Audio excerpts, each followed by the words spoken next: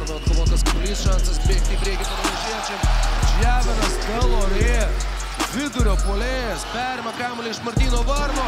Lukas Kuliackas toliau tęsia savo. Macheris stabdo žaidimą, prašo vandens pertraukėlės, nes iš sustabdytų. Ernestas Sederevičių kitoje aikštelės pusėje nepataikė. Pasvalio pieno žvaigždės. Ivanas Pranešos grūda kamolį iš viršaus. Taškai greitajame puolime. Šis e, naudingiausias e, rungtynių žaidėjas Utenos e, komandoje 10 taškų jo sąskaitoje tiek pat yra pridėjęs ir Ryanas Tayloras, čia keli Ivano Pranešo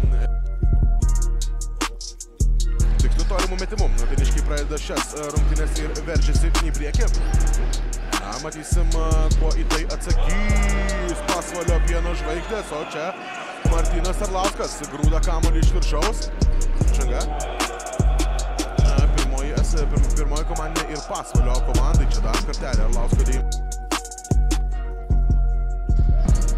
O į nugarą metė Stankievičius e, kamuolį Skotui, norėjo pats pačiupti, senas triukas neištekė. Furmanovičius monstriškai groda kamuolį iš viršaus. 11 taškų persvarą turi Laimono Eglinsko auklėtiniai. paskutiniam sekundėm. Ir kaip leido Liujisui pražanga.